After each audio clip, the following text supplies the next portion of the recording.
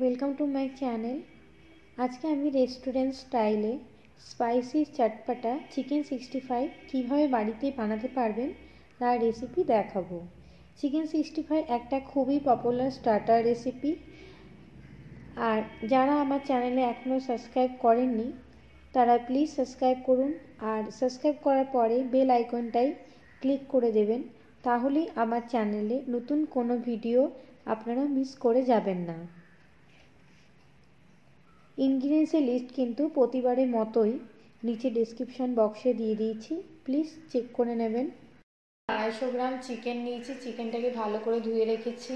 আর আমাদের লাগবে one table spoon চালের গুঁড়ি one tablespoon cornflour one tablespoon ময়দা ওয়ান টেবিল স্পুন লেবুর রস, একটা গোটা ডিম আর ওয়ান স্পুন গোলমরিচ, নুন one spoon red chilli flakes one spoon dark soya sauce দশ থেকে বারোটা রসুন কুচি, দু থেকে তিনটে লঙ্কা কুচি one table spoon টমে red chilli sauce red chilli powder food colour এটা অপশনাল নাও দিতে পারেন। আর one table spoon tomato ketchup, তেল, আর দশ থেকে বারোটা কারি পাতা কিছু ধনে পাতা কুচি ওয়ান টেবিল স্পুন আদা রসুনের পেস্ট আর হাফ কাপের মতন স্প্রিং অনিয়ন এবারে সবার প্রথমে আমরা চিকেনটাকে ম্যারিনেট করে নেব। চিকেনটাকে ম্যারিনেট করার জন্য প্রথমে লেবুর রসটা আমরা দিয়ে দিলাম। তারপরে আমি এখানে ময়দাটা দিয়ে দিলাম। ওয়ান টেবিল স্পুনের মতন অল পারপাস যে ময়দা হয় সেটা কর্নফ্লাওয়ারটা দিয়ে দিলাম। ওয়ান টেবিল স্পুন আর চালের গুঁড়ি মানে যেটা রাইস ফ্লাওয়ার সেটাও দিয়ে দিলাম। আদা রসুনের পেস্টটা দিয়ে দিলাম। আদা রসুনের পেস্টটা কিন্তু একদম মাখো মাখো টাইট করে বাটবেন, না হলে জল থেকে গেলে এটা জল কেটে যাবে। লঙ্কা গুঁড়ো দিয়ে দিলাম। এখানে আমি কাশ্মীরি রেড চিলি ইউজ করেছি। এটা কোনো ঝাল হয় না। কালারটা ভালো আনার জন্য ইউজ করেছি।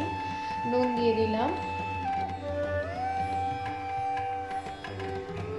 এবার এর মধ্যে আমি গোলমরিচটা দিয়ে দেবো ব্ল্যাক পেপার কিছুটা আমি সব এখানে ইউজ করছি, বাকিটা আমি সস যখন করব তখন ইউজ করব। এবারে সব কিছু ভালো করে হাত দিয়ে মেখে নিতে হবে। মনে রাখবেন, মাখার সময় একটুও জল ইউজ করবেন না। এটা কিন্তু আঠো আঠো একটু টাইটভাবে মাখতে হবে। এটা যে ডিমটা দেব সেটাতেই জলের কাজ করবে।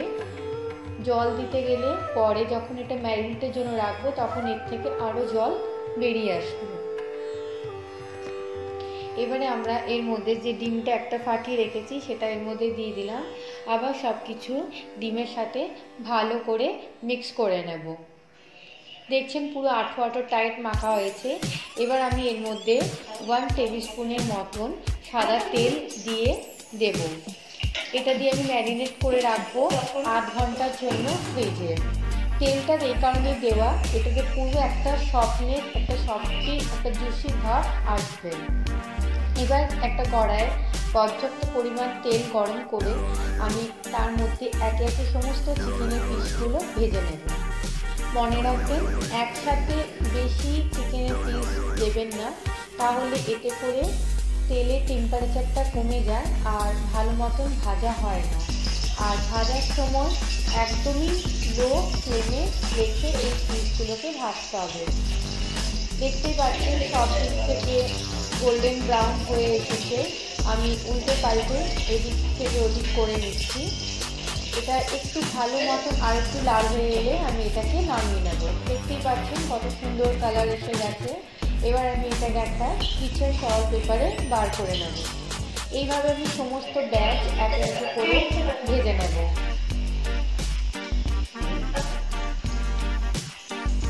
আমার চিকেনের পিসগুলো সব সমস্ত ভাজা হয়ে গেছে।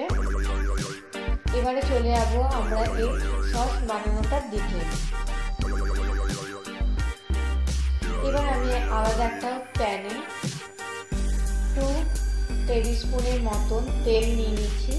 তার মধ্যে প্রথমে রসুন কুচি, তারপরে লঙ্কা কুচিটাকে দিয়ে হালকা লাইট ব্রাউন হওয়া অবধি একটু শর্টে করে নেব। যখন এটা হালকার মতন ভাজা ভাজা ভাব চলে আসবে, তখন এর মধ্যে আমি বাকি সমস্ত ইনগ্রিডিয়েন্টস অ্যাড করব। সবার প্রথমে আমি কাশ্মীরি রেড চিলি পাউডারটা দিয়ে দিলাম, যেটা ম্যারিনেটের সময় দিয়েছিলাম। ব্ল্যাক পেপারটাও দিয়ে দিলাম, গোলমরিচটা।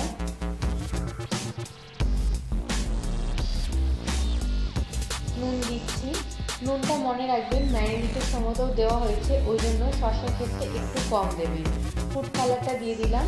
এটা অপশনাল এটা দিতে কেউ না চাইলে সেই জায়গায় কাশ্মীরি রেড চিলির পরিমাণটা একটু বাড়িয়ে দেবেন। আর সসগুলোর পরিমাণ একটু বাড়িয়ে দেবেন, তাহলে একদম রেড যে কালার ভাবটা থাকে চিকেন সিক্সটি ফাইভের সেই ভাবটা বা সেই ফ্লেভার কালার সেটা সব চলে আসবে। এখানে ফ্রুট কালার দিয়েছি বলে সমস্ত ওইগুলোর পরিমাণ কম নিয়েছি। দেখতেই পাচ্ছেন একটা রেড কালার লাভলি একটা রেড কালার এসে গেছে। এবার আমি একে একে সমস্ত সসগুলো দিয়ে দেব। রেড চিলি সস দিয়ে দিলাম, টমেটো কেচাপ দিয়ে দিলাম। সসেও কিন্তু নুন থাকে, ওই জন্য নুনটা কিন্তু এক্ষেত্রে একটু বুঝে দেবেন ডার্ক সোয়া সসটা দিয়ে দিলাম।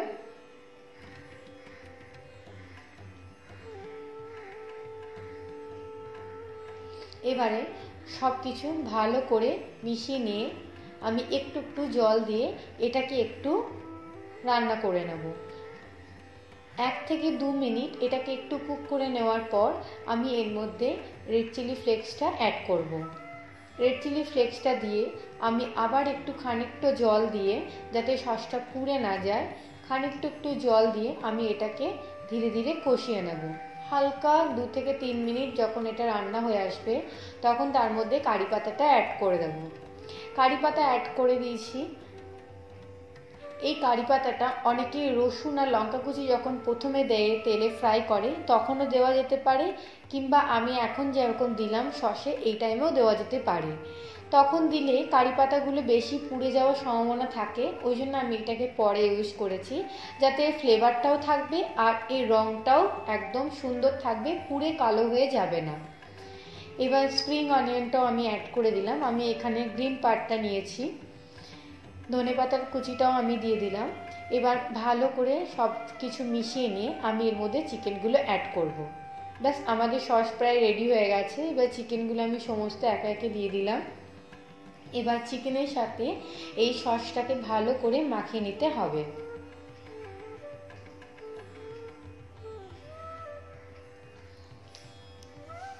তাহলেই তৈরি হয়ে গেল।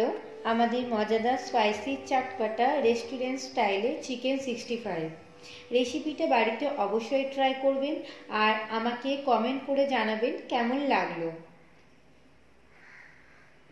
আজকে তাহলে এখানেই শেষ করছি। সাবস্ক্রাইব করতে ভুলবেন না কিন্তু। আবার দেখা হবে পরের এপিসোডে